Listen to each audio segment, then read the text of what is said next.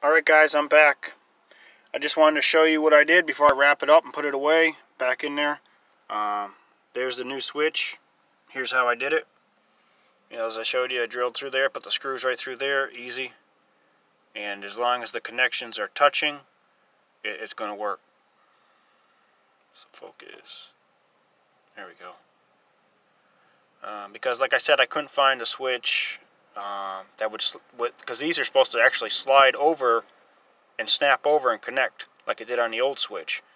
Uh, but um, so I decided to drill a couple holes through there, small holes. It worked perfect. They're tight. The connections are tight.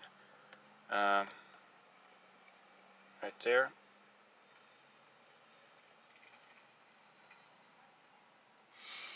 So it's on the off position right now, but I just wanted to show you before I wrap it up. Bam! Just like that. We got water! We got water again! We don't have to flip the switch five or six times or eight times. Huh?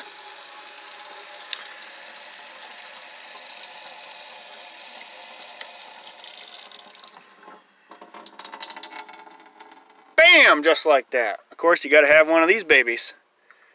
Don't leave home without it. The old Victorinox Swiss champ. Saved my life many times.